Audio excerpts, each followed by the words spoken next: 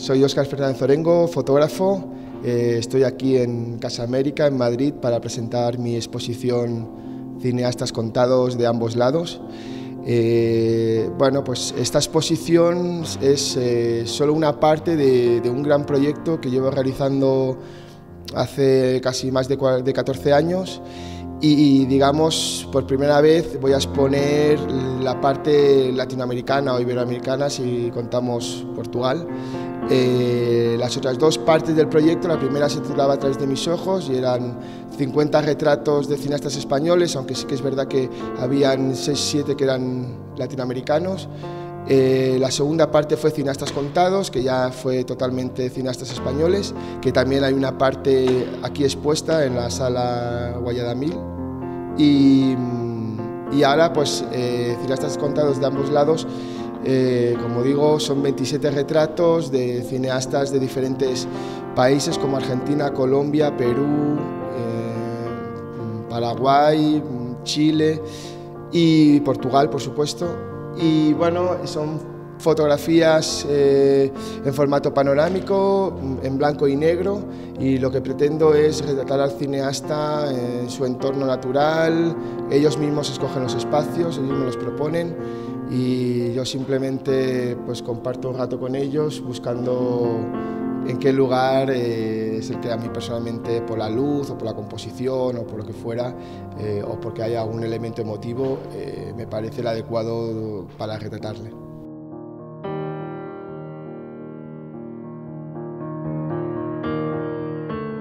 Pues bueno, aquí estamos frente al retrato de Lisandro Alonso y bueno, es uno de esos cineastas que, admiro muchísima, muchísimo su filmografía. Y en el caso de él, eh, bueno, yo la, vez, la, primera vez que lo retraté fue en Barcelona, eh, cuando estaba en la postproducción de su película Liverpool.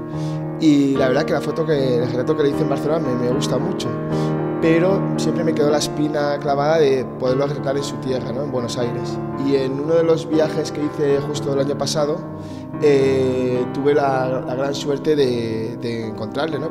creo que ya había acabado de rodar Jauja y se encontraba en casa y bueno, de él eh, pues me propuso eso, que fuera en su casa. Y me presentó a, su hijo, a su mujer y, bueno, me, parecía como una escena muy familiar, a pesar de que tengo las fotos con, con la mujer y el hijo, pero bueno, esta me pareció pues, pues la más adecuada. ¿no?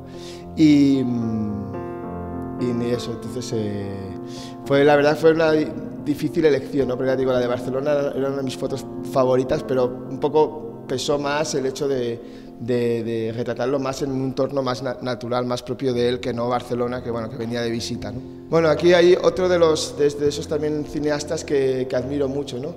Eh, siempre he manifestado que para mí, dentro de todos los cineastas del mundo, si me tuviera que quedar uno sería con Luis Buñuel eh, desgraciadamente nunca he podido retratar a Luis Buñuel porque evidentemente ya está muerto, pero Arturo Rubinstein fue asistente de dirección de él en varias películas y, aparte, pues ya te digo, su cine, que tiene bastantes conexiones con el cine de Buñuel, eh, pues a mí me encanta, ¿no?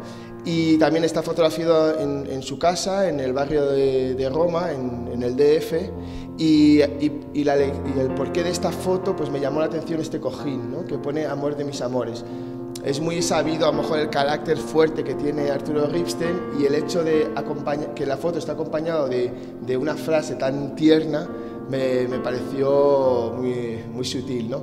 Y, este cojín se lo bordó su mujer, que es Pazaliza García de Diego, que es su mujer y su guionista de, bueno, no de sus primeras películas, pero sí que de, no sé, no sé en qué año empezó, pero bueno, de las posteriores, digamos. Es una pena que siendo de Portugal, vive en Lisboa y somos vecinos, pues su obra no, no se conoce.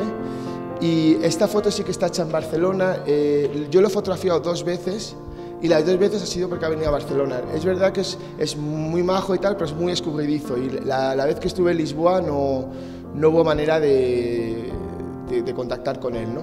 Pero es un cineasta que, que, para mí es de los, de los grandes talentos del cine contemporáneo y es una pena que en España no solo se estrenó una película de las últimas que se llama Rien y, y, es una, ya te digo, una pena que no, no se conozca su obra. ¿no? Pero ya digo, apunto a que es uno de los, de los más grandes eh, cineastas de, de, hoy en día. Bueno, este, por ejemplo, sería Víctor Gaviria, colombiano, eh, esta foto la realicé en Medellín. Esta, como veis, esto es un cine de, un barrio marginal, el barrio se llama Barrio Triste.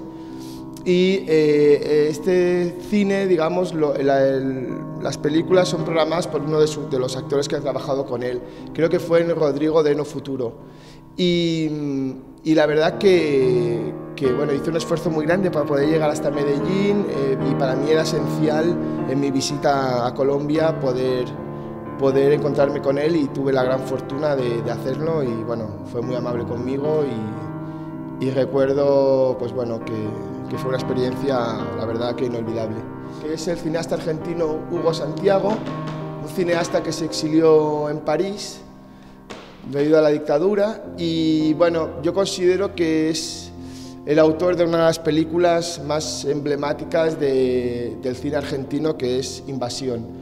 Y esta foto me gustó mucho porque está hecha en Buenos Aires, eh, lo cogí de casualidad porque estaba eh, haciendo la, preproducción de una película que, ya ha rodado y es en casa de su hermana. Entonces era como el reencuentro, ¿no? De alguna manera Hugo Santiago volvía a Buenos Aires y me gustó mucho este grupo de marcos, ¿no? Con familiares, amigos y era pues eso, ¿no? Eh, este reencuentro con, con la familia.